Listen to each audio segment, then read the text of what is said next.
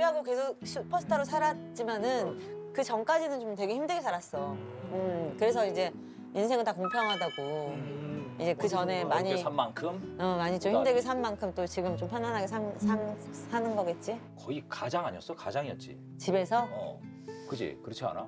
가장이란 뜻이 만약에 돈을 버는 그렇지, 그렇지. 사람이면은 이제 내가 가장이었던 건 맞지. 어, 그래? 그지. 뭐 이런- 근데 나는 이제 가장이 돈만 버는 게 가장은 아니, 아니라고 생각하거든. 그 집안의 어떤 집안을 두루 보살피고 아, 그런 게 가장이니까 나까지 이제 시골에 낳고 500원 갖고 서울에 올라왔다 했어. 500원? 애 4명, 애기들 4명, 그다음에 500원. 그 당시 500원? 어, 그 당시 500원. 아무리 500원이어도 정말 작은 돈이었대. 작은 돈이지. 지금으로 쳐봐. 많아야 50만 원 될 거야. 아마. 그걸로 해가지고 막 친척들한테 좀 빌리고 해가지고 막 이발소 하나 해가지고 이제 쭉 키웠지.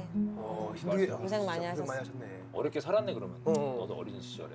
아버지가 너무 무서웠었거든 어렸을 때. 어미 어마하셨구나. 응, 그걸 많이 때리셨어 우리 아버지. 아 진짜. 그럼 약간 욱하는 게 좀 있으시죠? 어 욱해서 이게 많은 날 아닌데 이제 애 넷에 막 500원 갖고 올라와가지고.